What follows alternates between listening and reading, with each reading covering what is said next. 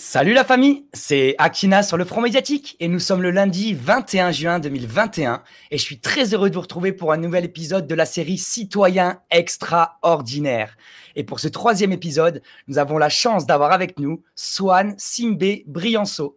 Bonjour Swan. Salut Akina. Comment tu vas? Bien et toi?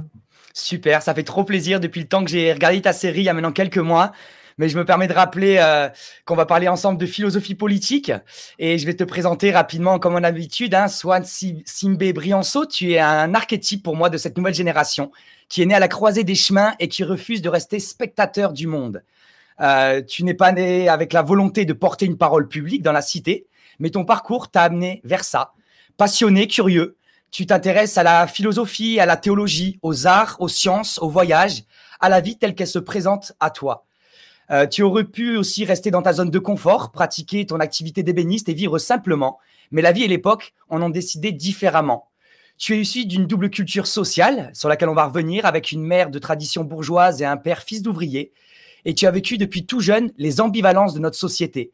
Passionné par la lecture et aventurier, tu as su euh, te construire de nouvelles expériences pour pouvoir te rapprocher chaque jour du réel, mieux appréhender euh, ta construction personnelle, ton environnement dans lequel tu habites.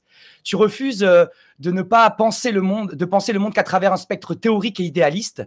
Et donc, un voyage à travers la France, on va aussi y revenir à la rencontre des Français et des Françaises. De longues retraites spirituelles t'ont permis euh, de, te rencontrer, euh, de te, rencontrer entre le ciel et la terre. Tu es réaliste et tu nous invites aussi à penser à partir du réel pour vivre une belle vie et non pas à partir d'illusions idéalistes. Tu te présentes aujourd'hui comme philosophe politique et tu proposes un regard éclairé sur la cité.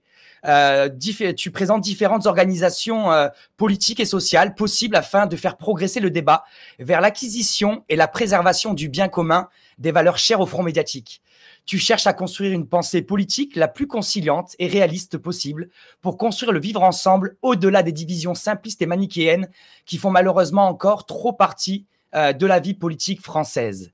Voilà, je rappelle que la série Citoyens extraordinaires proposée par le Front médiatique a l'ambition de mettre en lumière des citoyens connus ou inconnus qui ont décidé de ne pas être spectateurs de leur vie, mais de devenir des acteurs de la cité, des hommes et des femmes qui refusent le système de domination et d'injustice actuel et qui se donnent comme mission de changer les choses en profondeur.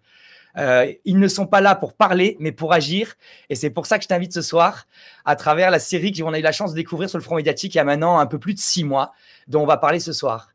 Euh, je te propose un échange en deux temps. Dans un premier temps, on va revenir un peu euh, ben, sur toi, ta personne, l'être humain qui a derrière cette chaîne, derrière cette philosophie politique, et essayer de comprendre un, peu qu'est-ce qui t'a amené à travers ton parcours de vie à, à, être ce que tu es aujourd'hui en tant qu'individu euh, engagés dans la cité. Et dans un deuxième temps, on fera euh, ensemble de la philosophie politique autour donc des questions euh, qui sont au centre de ta chaîne YouTube et sur laquelle, euh, enfin, ces questions sur lesquelles tu, tu, travailles depuis des années à travers des lectures, à travers des rencontres, des voyages et euh, sur lesquels tu chemines. Et on va cheminer ensemble aussi ce soir. Donc, euh, pour rentrer un peu dans la première partie, pour essayer de mieux te connaître, déjà, ce serait un peu intéressant de, savoir de, quel monde tu viens parce qu'on est aussi le fruit, bien évidemment, ben, euh, de notre environnement social, euh, géographique, temporel, euh, familial. Et donc, est-ce que déjà tu pourrais un peu nous, planter le décor? Dans quel cadre de vie tu as, tu as grandi dans ton enfance, dans ton adolescence?